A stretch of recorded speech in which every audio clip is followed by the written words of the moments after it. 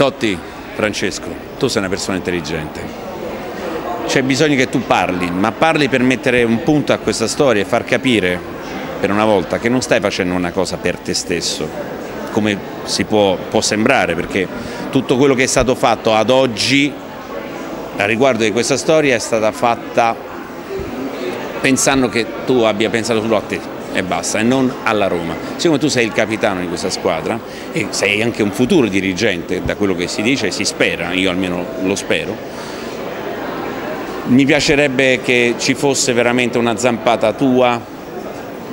da capitano, da, da uomo della Roma, da tifoso della Roma e non da chi protegge in quel momento uno stato d'animo che capisco perché nessuno di noi è pronto a un passaggio di quel genere, come smettere di essere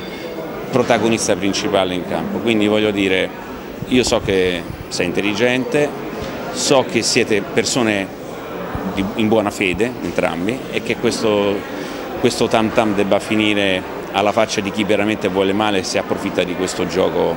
tra poveracci.